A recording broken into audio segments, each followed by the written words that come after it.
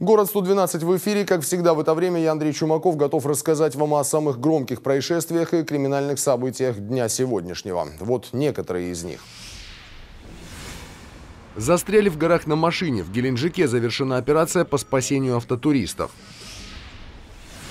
Восемь ножевых ранений в качестве благодарности за гостеприимство. Полицейские задержали агрессивную краснодарку, ранившую своего знакомого. Вместо 7 миллионов рублей по страховке до двух лет тюрьмы задержан краснодарец, угнавший свой собственный автомобиль.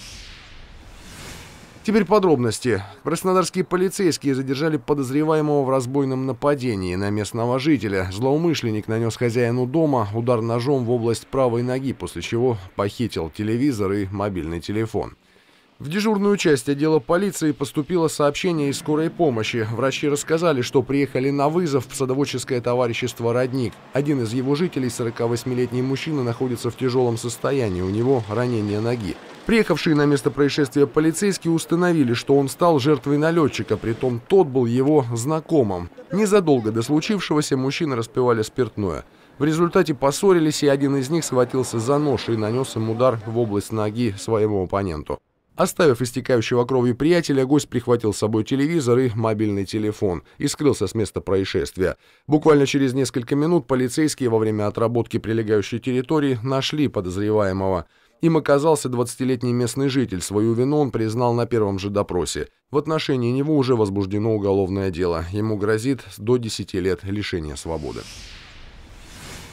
И еще об одном случае, который закончился поножовщиной. В Славянском районе возбуждено уголовное дело в отношении 34-летней женщины, которую подозревают в покушении на убийство своего знакомого. По версии следствия, женщина приехала в поселок Забойский из Краснодара. Там она через свою приятельницу познакомилась с 25-летним местным жителем. Ей негде было переночевать, поэтому молодой человек пригласил ее к себе домой. На следующий день рано утром между новыми знакомыми, находящимся в состоянии алкогольного опьянения, произошел конфликт. Во время ссоры гостья восемь раз ударила ножом парня в грудь и спину, рассказал наш источник в Следственном управлении Комитета по Краснодарскому краю. Осознав, что совершила преступление, девушка сама вызвала скорую помощь. Пострадавшего госпитализировала приехавшая бригада врачей. Он выжил. По факту нападения возбуждено уголовное дело. Рассматривается вопрос о заключении женщины под стражу. В Геленджике завершилась операция по спасению автотуристов. Накануне утром они отправились на машине в горы, а вечером на пульт оперативного дежурного отряда «Кубань-Спас» поступил сигнал о помощи. Спасатели тут же начали поисковую операцию в районе горы Бацехур. Прочесав лесной массив, они обнаружили у подножья заглохший внедорожник и троих заблудившихся туристов. Все оказались целы и невредимы. Людей и автомобиль спустили вниз, где пропавших туристов уже ждали их родственники. От медицинской помощи они отказались, сообщили сообщает пресс-служба «Кубань-Спас». Тему дорожных происшествий продолжим свежей подборкой аварий в рубрике «ЕДДС». И снова возвращаемся на уже знакомое нам пересечение улиц Дзержинского и Покрышкина. На этот раз здесь довольно серьезную аварию устроила автоледи на белом кроссовере. Она решила проскочить на красный, но сделать это ей не позволил водитель серебристого хэтчбека. Судя по всему, он не знал, что для некоторых автомобилистов желтый и первые секунды красного сигнала светофора считаются зеленым. Ну и напоследок еще одно ДТП, и снова его виновницей стала автоледи на белом кроссовере. Видимо, она так увлеклась беседой с подругой, что не заметила знака «Уступи дорогу». В итоге она выскакивает по второстепенной Энгельсе на главную, северную, прямо перед отечественной легковушкой.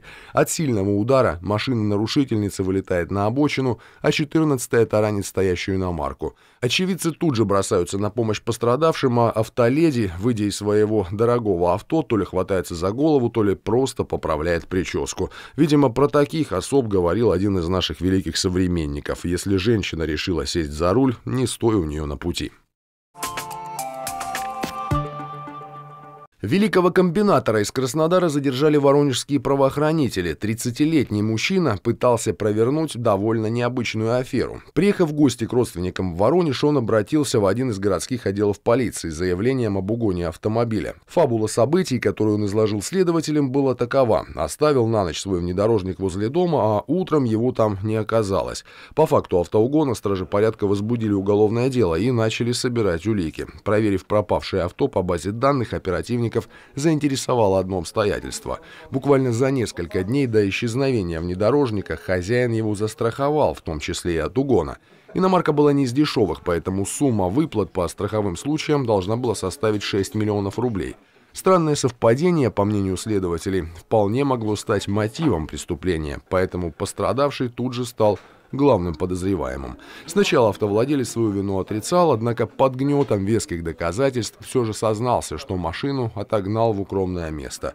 Рассчитывая получить страховые выплаты, собирался перегнать внедорожник назад, в Краснодар, однако вместо этого ему предстоит другая поездка в места не столь отдаленные.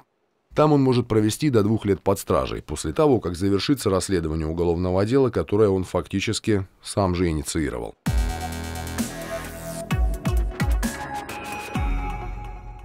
Наш выпуск на этом завершен. Берегите себя и соблюдайте законы. Ну и поменьше неприятных происшествий на вашем жизненном пути.